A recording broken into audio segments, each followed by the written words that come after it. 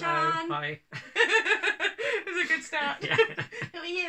I'm Bert. Yay! Yeah. Um, we're doing a book haul this This is Shani morning. Reads. Yay! Yeah. Yes. So we're going to do a book haul. We've got quite a few books. Yes, we have. We've got loads of books. Yeah. So we need to just get get, get straight It's to a it. power through. Yeah. So, should we go for it? Go first. Okay. So this one is one that you know everyone's reading It's the buzzy book at the moment. all over my booktube, Yeah. And that's the erotic cloth. I Mhm. was joking. Um, and this is a collection of ex essays, um, edited by Lesley Millar and Alice Kettle. Seduction and fetishism, fetishism in textiles. So it's got lots of illustrations as well. So lots. It's kind of quite glossy and and beautiful. It's quite classy, isn't it? Yeah. So um, it's kind of quite new, and the reason that that's I really like this one. This is a a sui- picture after suicide with shotgun. So there's like blood Oh, on the bed, yeah. but it's kind of really beautiful as well, Mhm. isn't it? But I bought this one for um, specifically for this essay: folds, scissors, and cleavage. Can you say that bit? In Giovanni Battista Moroni's Il Tagliapani. and it's by Angela Maddock, and um, that's the picture there.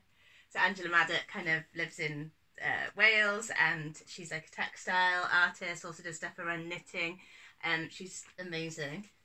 I'm a bit in love with her. like I'm pretty sure she's not watching, but really hoping she isn't after Yeah. I've said about how Yeah. much I love her. But uh, yeah, so that's that one.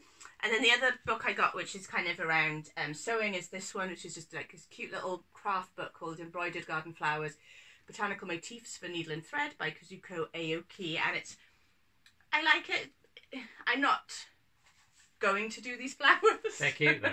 they are cute, and there might be bits that I will use in them because it does have like little kind of like stitches as well. But it's a really beautiful little book. Lovely. Yeah. What have, so some of yours you've read already, haven't you? Do you want to talk about those first? I have. So we went book shopping prior to our holiday in Cornwall, and I managed to read quite a few of the ones that we bought, which is uh, the plan, and I'm glad it. Did you read all of those in Cornwall? I read four books in Cornwall. Yeah. Yeah, so I read all of these in Okay. Cornwall. So I read um, Beryl Bainbridge, Sweet William. Um, I really like Beryl Bainbridge. Um, I kind of I get a real sense of her being quite sort of spiky, difficult Mm. woman. Um, but her books are kind of really funny, quite dark. Um, this one's about a relationship that seems pretty doomed from the start. Um, 1975, that one was. Uh, I gave it four stars. If, if you want to know. Um, I also read and really enjoyed The Holiday Friend by Pamela Hansford Johnson, who had a relationship with Dylan Thomas, we have recently found out. That's what Charlotte told us. Yeah. Our, our Dylan Thomas expert. Yes. Yeah. Yes, we've been informed. She says her this is it her voice she hears in the gallery because there's an interview with Oh, her. I okay. guess. Yeah. Yeah, I, I have read one previously by her called The Unspeakable Skipton, which I didn't enjoy hugely. It was okay. But this one was really good, kind of like a sort of domestic thriller, stalkery kind of story. Mm. Um, it was pretty intense, and like by the end, I was like, so. Um, I also look at this beautiful jacket. it's so nice, and that font in the back is just I know it's dream just like time. it's such a nice design. yeah, It's pinks. And it's got. French flaps as well, doesn't yeah, it? it does have French Oh. flaps. So this is a reissue of a 1978 Robert Walser Prize winner. Um, it's uh, The Weight of Things by Marianne Fritz. Um, I didn't enjoy it, unfortunately. Um, it wasn't for me. It, I don't know. I don't know if it's um, lost in translation or Yeah. it just didn't work for me, um, Okay. which I was very sad about. yeah, it looks so good. Yeah, but um, having said that, I, it was part of the Reading Women in Translation, Yeah. um, which I've tried to do a bit this month. So the next book was also part of that, which is Irene Nemirovsky's Fire in the Blood. I did enjoy this one a bit more. Um, I have read pre- other Irene Nemirovsky's, which I've enjoyed more than this one. This was good. I'm glad I read it. It was quite slight, really quick, easy read um, about kind of buried past sort of secrets and uh, love and how um, that fire in your blood when you're young for like passionate, and then how like that's tempered through age, but then actually it can be rekindled. Um, that's good. Okay, and then um, I bought this, which you found for me in a bookshop, which is Where the Dead Pause and the Japanese Say Goodbye by Marie Mutsuki Mockett, and it's um, a memoir. So I think it's a bit sort of memoir travel, um, and also kind of about going to a Buddhist temple as well in, J- in Japan. Um, yeah, Lovely, isn't it? grief. It sounds really good. I It does look Mm. good. Yeah. And we've not heard of that one at all. No, she's it says she's written a novel called Picking Bones from Ash. So there we go. That's that one. Um, I've also got um, this one by Michael Stone. So Michael Stone died in 2017, um, and this is called "The World Comes to You: Notes on Practice, Love, and S- Social Action." And um, he's an amazing uh, writer about sort of yoga and Buddhism, and he's also a psychotherapist. He was a psychotherapist. So this, I think, is like kind of collected from little bits that were kind of left. So they're Mm. more just like short little, um, very short essays or snippets. It'd be nice though. I think. Yeah, in- I think he's yeah. Yeah. Sian's a was great. fan. I love Michael Yeah. Stone. Tell them about. Shall I do this this one. one? So also I've got Girl Boy Girl: How I Became JT Leroy. Leroy. We thought it was Leroy, but yeah, it's Leroy. only for about ten years. Yeah. yeah, and this is by Savannah Knoop. So we went to see the movie, which has got Kristen Stewart and Laura Dern, and Kristen Stewart is the Savannah Knoop yes. character, or the J- who's pretending to be JT Leroy. Yeah. Um, and did you like the film, Bert? The film was so good. Have you seen it? It's so good. Um, I really enjoyed the yeah, film. yeah. I'm a huge Kristen I mean, you can't go Stewart wrong with. Kristen Stewart or no. Laura Dern. No. But this was particularly good. Yeah, and it had Mick Jagger's son in briefly. Yeah.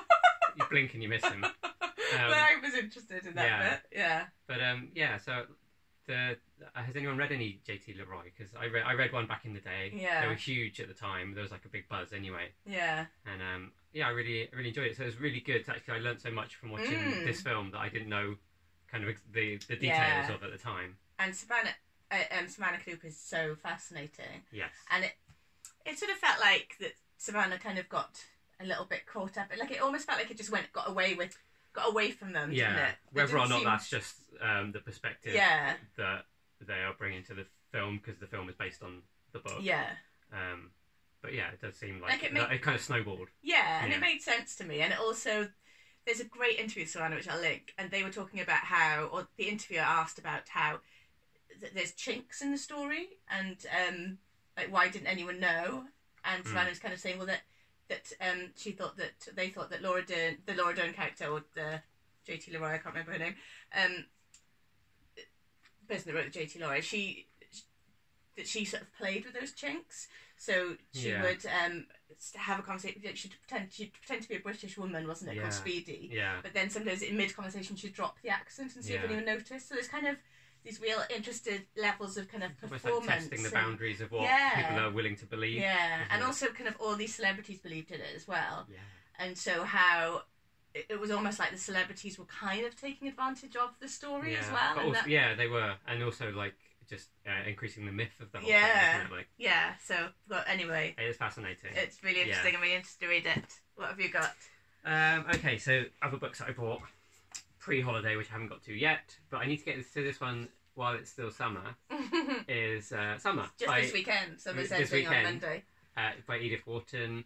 Um, yeah, Ethan Frome is one of my all-time favourite books. Um, so I've always wanted to try more Edith Wharton. This is a story of forbidden sexual passion and thwarted dreams set against the backdrop of a lush summer in rural New England. What sounds better than that? And what a Mm. beautiful um, Penguin Classic edition as well. Um, I've also got this Margaret Drabble, The Seven Sisters, um, to read. This is a 2002 Margaret Drabble.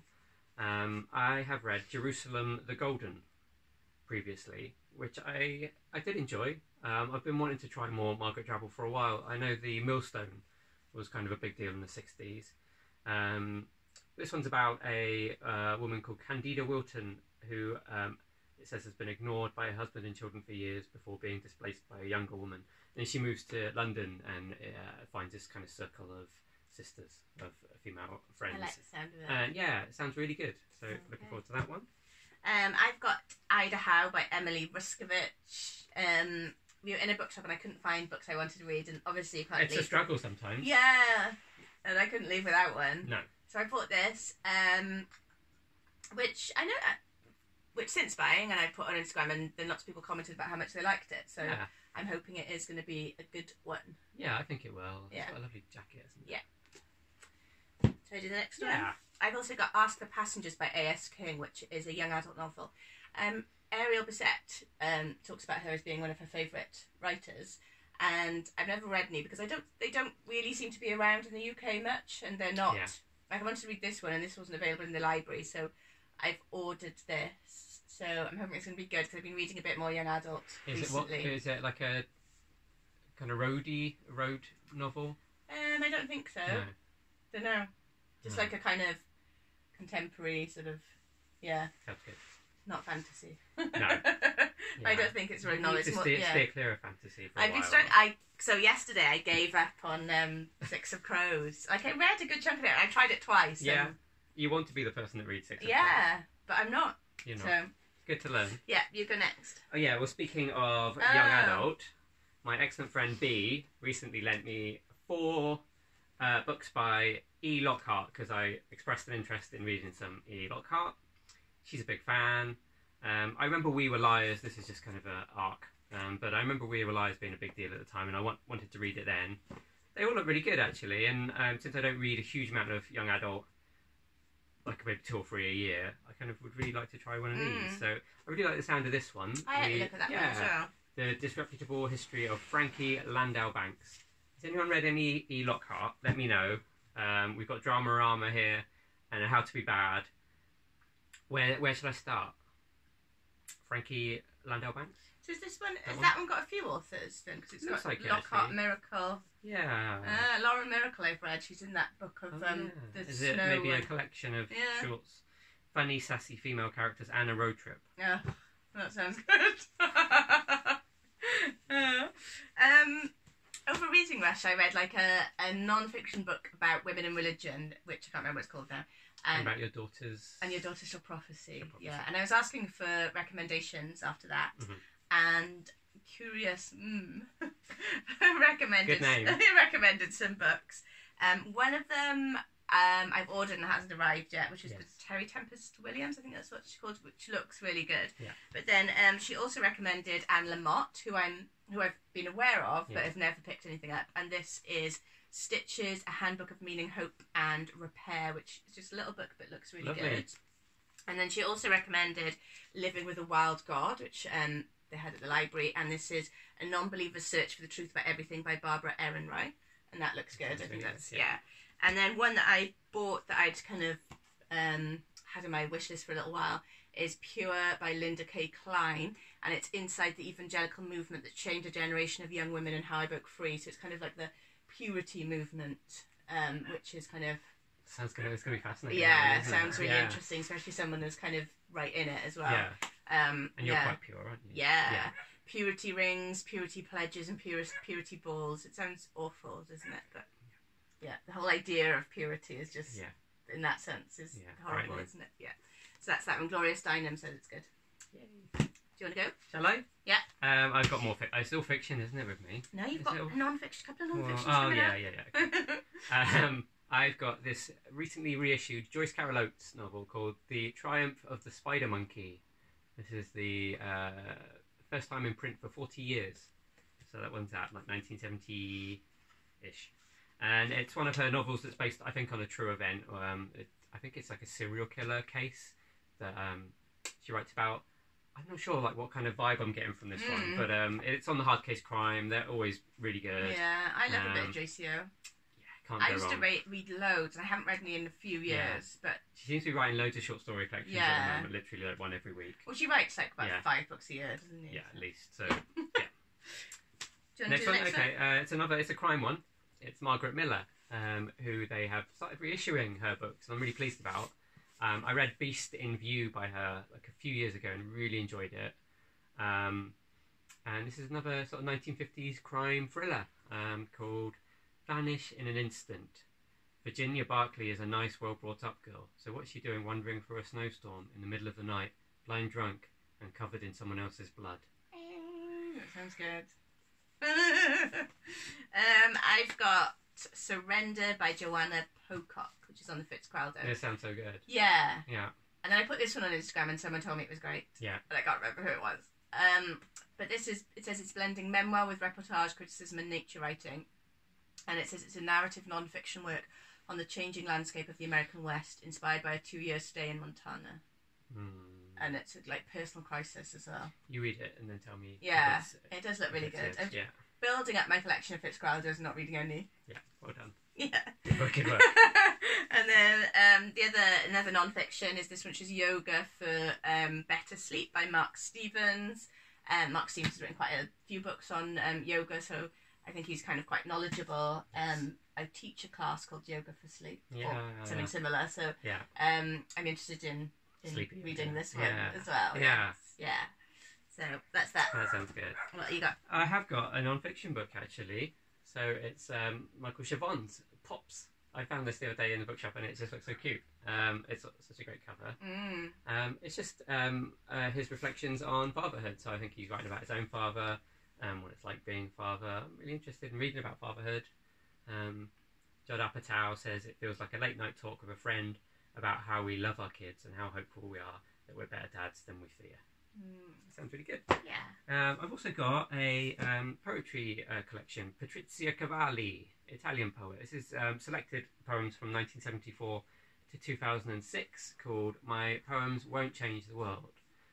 Uh, It's tr- translated as well, is it's, it? it's another translated Yeah. one, so yeah, so I'm making an effort with the translated women in translation this month. I've Done nothing Uh, on that. Although having said that, I haven't read this yet. Yeah. Um, but it's um, poems of the self, the body, pasta, cats, the city, and always and above all, love. So that just sounds like perfection to Does me. sound great. Yeah. Should I carry on? Go on. Have you got less? Carry on. I've got another Anita Brookner to read. This is The Bay of Angels. I love Anita Brookner. They're kind of always very uh, essential to have an Anita Brookner waiting on the shelf to pick up. Um, so I read my final one the other day um, called Altered States, and that was really good. And then I realised I didn't have any more Anita Brookner to read, so I needed to get another one. Shall I go next? Yeah. So you bought me these two, Yes. and this one is called Mother Winter, and then it's got writing that means I can't understand, can't read what her name is on the it's really bad cover, so I'm gonna have to. It's Sophia Shalmiyev, and it, yeah, so it's a memoir, and I think it's like about her. She was born in Russia Yeah. and then moved to America. Um, yeah, in the eighties, maybe. Yeah. Um, but it yeah, it says it's a refugee coming of age tale, feminist manifesto, and a meditation on motherhood, displacement, gender politics, and art. It looks amazing, Yeah. and all the people in the back. Yes. Ivy it's all Miles. your people. That's why I yeah, picked it. Yeah. Myles, Chris Kraus, Michelle Tea, Leni Zumas, Melissa Febos. Yeah. It's a shiny book. Yeah, Yeah. it looks great. Yeah. And then the other one you got me was this one, which is Cannonball. It's a graphic novel. I It wanna says graphic this. novel, fiction, LGBTQ, and this one's by Kelsey Wroten. And it says it's about a character called Caroline Bertram, who's aspiring writer, queer art school graduate, near alcoholic, and self proclaimed tortured genius. And Yeah, I love the illustrations. It's they're really good on Yeah. it. It's just like a lovely book, actually? Yeah. This kind of nice hardback. Who's it? Oh, on Uncivilized Books, Uncivilized who I don't know. books. No. So Lovely. that's all of the books. Very well You've done. still got one more. I've got one uh, more to haul. This is Alfred Hayes, um, the girl on the Via Flaminia. I love Alfred Hayes. I've read In Love by him and Your Face for the World to See, and they're both perfect, perfect books. Um, they're kind of quite dark, quite almost like sort of Hollywood noiry. They're sort of I think they're from the fifties. Um, this one is from 1949. Um, uh, there's a, a nice sort of quote here. It says, um, "Hayes has done for bruised men what Jean Rhys does for bruised women." Um, uh, so yeah, highly recommend. Really looking forward to reading this particular one. What are you reading right now, Shani? Well, I yesterday did I already say this? I when I DNF'd. Uh, uh, what was it? Six of Crows. Mm. So I'm not reading it. I need to read a start fiction Yeah. today, but I've got two non-fictions on the go. So I've got Pleasure Activism, which is collected and gathered by Adrienne Maree Brown. Politics of feeling good. Oh yeah. And um, I'm reading this one with um, Mercedes and Charlotte from Tired Mamas Tries to Read. Dream Team. Yeah, Yeah. they're so great. Yeah. And we're having kind of interesting chats because there's um, lots of kind of interesting discussions in here. So there's like chapter about weed. Um, there's one like uh, liberating your fantasies, Mm. um, pornography and accountability. Um, there's something about. I'm not going to read some of those ones out. there's something about. there's something about nipples. Some adult content. Very Yeah. adult content. Yeah. yeah, Nipples are magic. Yes, yes, they are. Yeah. they so are. we've been having some uh, good chats on that. Yes. Um, It's a really good buddy read book. Yeah. Because you've have started it previously and not. Yeah, it's really interesting. But I, but yeah. it was one that you, you know, when you put something down and then you're not drawn to pick it back Yes. up. So I've been reading. We've reading like three little essays a day. I've kind of, I'm kind of lost about where we are. So I feel like I'm vaguely in the area that Yeah. they're in. Um, I think it's a really interesting book, and Ava Marie Brown is really smart Yeah. and um, bringing lots of diverse voices together, and I really appreciate that. Um, I'm feeling like it doesn't necessarily all come under pleasure activism, particularly, but it's still yeah, it's kind of a broad interesting. kind of term to. Yeah, yeah. And then um, the other one I'm reading, which I've only just started, and I'm reading with uh, my friend Anna, is Braiding Sweetgrass by Robin Wall Kimmerer. Kimmerer. Is a book I really want to read. Yeah. Yeah. And it's nature essays, and it says Indigenous wisdom, scientific knowledge, and the teaching of plants. Elizabeth Gilbert recommends it. Hmm. I'm Jane Goodall. Yeah. Yeah, I love the sound of that one. And what are you reading? I am reading and loving The Bad Trip by James Riley. This is non-fiction, Dark Omens, New Worlds, and the End of the 60s. Um, so yeah, it's kind of focusing on um, the dark side of the end of that decade.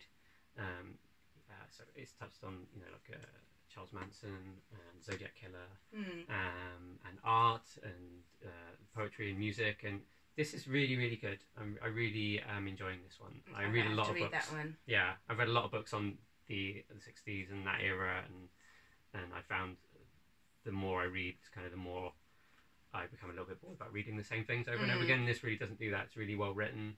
It ties lots of interesting points together Mm. from across the decade. Yeah, I'm thoroughly enjoying that one. But I feel that's what kind of I don't know. It's what I want from nonfiction now. I don't necessarily want just someone telling me stuff. I want people to, Yeah, um, you know, be investigating stuff and Yeah. and questioning things. yeah. It just kind of shows that sort of um, personal insight. Yeah, I want a person. I want yeah. the author in the book Yeah. as well. Now, Not so much with this one. Uh, it's not really like Okay. But um, but his connections are really unique. Yeah. they're kind of quite Yeah. interesting, Yeah. like how he ties things together. So yeah, That's everything. that is everything. A lot of books. It's a lot of books, isn't Mhm. it? Yeah. So let us know what we should read out of these, or if you've read any of them. or what not to read. what not to read. Yeah, I'm sure you've all been uh, reading the erotic cloth. I have. yeah. Have a lovely weekend. Thank you. Have a lovely long bank holiday weekend here in the UK. yeah, yeah. Or summer for you. Or something. Crossing guard holidays. you do.